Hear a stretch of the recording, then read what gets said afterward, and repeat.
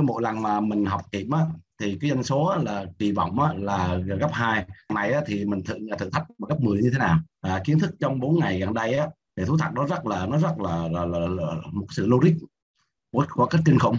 Thì kiến thức này nó quá sức hay. À, toàn đi với kiểm á, đến bây giờ là năm thứ năm thứ năm rồi.